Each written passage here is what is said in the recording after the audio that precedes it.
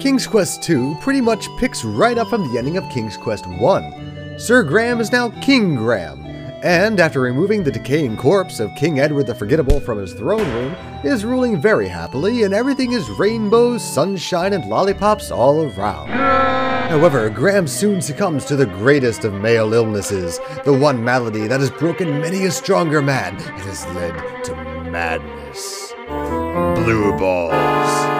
He realizes that his kingly line is going to be pretty short-lived if he can't find a way to produce a suitable heir. Alright, so it's not as shallow as all that. Graham is a good guy. All he's thinking about is companionship, and giving his kingdom what it really deserves, a queen. He searches high and low across the entire kingdom, but finds no one really suiting his unrealistic expectations. The magic mirror you found last game chimes in with its own suggestion, and shows you a beautiful maiden locked away in a golden or ivory or something tower in a far off land called Kolyma, guarded by an evil sorceress. Sounds like perfect fantasy fodder. A quest! A king's quest! Ha ha!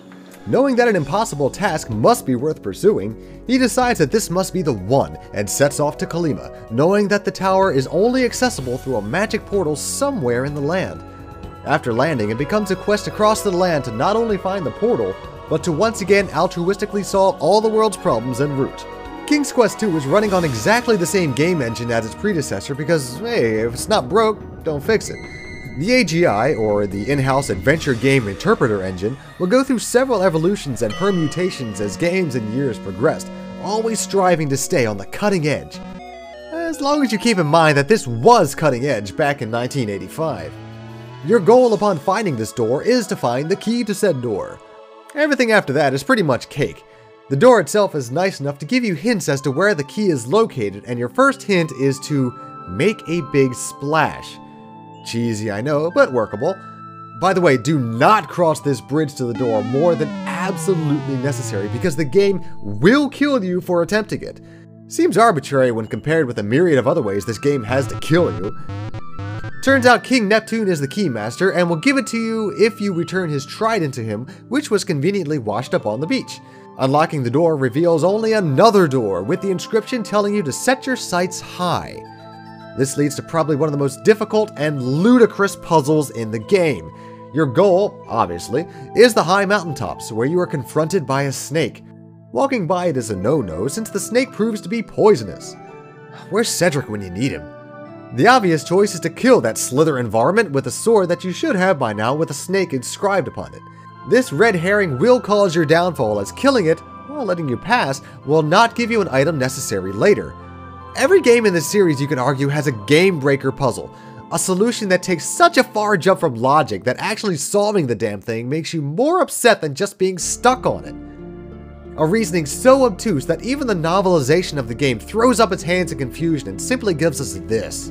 With one swift motion, King Graham made to grab the hilt and swing the blade through the air so as to slice the head from the serpent's body. His hand grabbed the bridle's silver bit instead, and still thinking he held the sword, he flicked it through the air. Graham's hand opened in its surprise, and in result, he threw the bridle at the snake by mistake. But instead of the serpent slaying our monarch with its own quick kiss, the bridle magically transformed the serpent into a winged horse. Oh, what? What? Uh, this is. no! No! No! Bad book!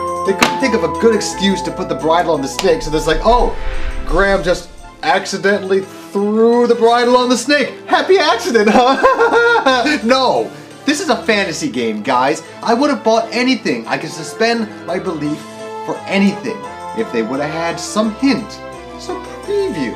Maybe a, a fairy floats down into the ether and tells you that somewhere there's a magical horse trapped in the form of a beast, or there's a snake somewhere that is magical in some nature. But no, nothing. Give me some direction, guys. Alright, fine. So if you want to go the Greek mythology route, perhaps the uh, Medusa is linked to Pegasus in some way. Medusa having to do with snakes. But that's a stretch. Bad book. Bad! You get the key from the mountains and unlock the door only to find another door. And this is where you hear the collective sighs of half a million gamers from around the world and me wondering if this chick I've never met in a tower far, far away is really worth all this aggravation. The final clue says to be stout of heart, and here's where things get really obtuse. Amongst the Arcadian backdrops, you find freaking Charon himself, who has apparently not yet been promoted to ferrying the souls of the recently departed and is still the ferryman for a moat. Chiron is extremely nearsighted, for all one needs to fool him into taking you across the moat is to wear a red ring and a black cloak. Well, true, it turns out the castle belongs to Dracula, but still, it's gotta chafe his ass to be relegated to such a lowly position. Presented with a path of poisonous spines, you can either attempt to navigate the path, which is nearly impossible, or pop the sugar cube that you were given from the winged horse and become invincible. Enter the castle, kill Dracula, which has not done any harm to you personally, mind you, steal his key, head back to the Matryoshka door, and you find yourself at end game. Work your way to the tower and to the apparent love of your life. The only problem I really had with this game besides the whole snake debacle, is the fact that there's no real main antagonist. I mean, sure, there's a couple baddies here and there that you need to battle, but no real bad guy to keep the plot moving and to give it any kind of sense. It's hinted that the main bad guy is supposed to be Hagatha, since that's the only sorceress you run into during the course of the game, so she's the one who must have locked the girl up in the tower, but for what reason, we don't know. With a little bit more information, we could have just wandered on over to the cave and beat the information out of the withered old crone, but no! We have to do things the hard way. The game, while running on exactly the same engine as the previous game, pushed it a little bit harder and takes us to some really unique locales like underwater, up in clouds, and especially what I'm dubbing the Tower Dimension, not to be confused with the Distortion Dimension. You have to remember that in 1985, this is unlike anything anyone has ever seen, exploring a world of red trees, pink skies, purple seas. Yellow moons, green clovers, blue diamonds, and purple horseshoes. The vast majority, if not all of these problems, are taken care of masterfully in the new King's Quest II fan remake. It fills in the plot holes, it expands on the plot, adds new characters, it's... we'll talk about that later. Join us next time for King's Quest III, To Heir is Human. H-E-I-R. the puns!